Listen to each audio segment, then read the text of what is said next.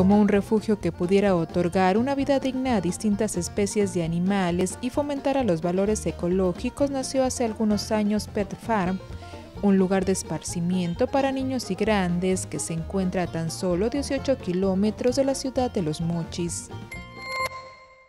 Pet Farm viene siendo una empresa ecoeducativa, la cual se trata de sembrar los valores eh, de ecología, reciclaje, respeto a la, naturaleza, ya sean plantas o sean animales, este, y, el, y el derecho de ser autosustentable. Gallinas exóticas, tortugas, palomas mensajeras, ponis y cocodrilos son algunos de los muchos ejemplares que resguarda la granja, la cual está inspirada en los cuentos infantiles, ya que brinda a los niños una experiencia inolvidable.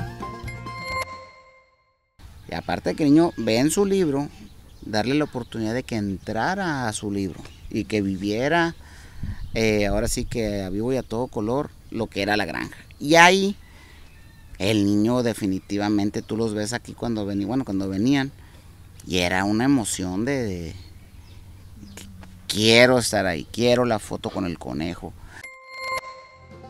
Juan Fernando Murrieta, médico veterinario y creador de Pet Farm, comenta que este proyecto le ha traído grandes satisfacciones, además de permitirle realizar lo que más le gusta, que es el amor y el cuidado por los animales. Ha logrado involucrar la preservación del medio ambiente a través de elementos reciclados que viste en el lugar. Todas las jaulas, las bancas, este, las mesas estas donde estamos, todas tienen eh, material reciclado. Si no es al 100%, un 70%. Y así todos los corrales, las corraletas, los cercos.